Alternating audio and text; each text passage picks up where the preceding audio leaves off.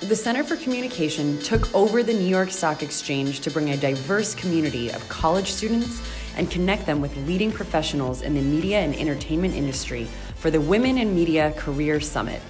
We need more women in the boss's seats. Yeah. We need women who are on boards. We need women in C suites. You guys should be those women, um, and, and you can. Growing up, I never had female uh, role models like in the media field, and I think it's important that future generations of girls have that. What I really want is just to feel that fire again. Over 200 students attended the sold out event. This is my second year here, um, and I think that this year it's been a really, like, they've upped the ante.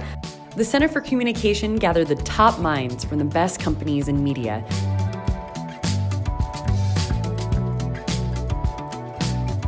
The Center for Communication developed a full day program of keynotes, workshops, and networking sessions to inspire and teach students how to jumpstart their careers.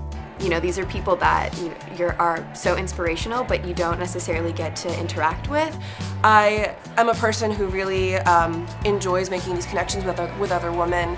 Um, so this this entire experience has been extremely up my alley. That the most valuable thing in all your lives, no matter what your career and whatever achievements you you have, will be your relationships with other people. And are you doing a great job so that you'll you'll all kind of want to be together going forward at other jobs, other companies. It just shows that these women are coming from so many different areas and there's no linear path in media.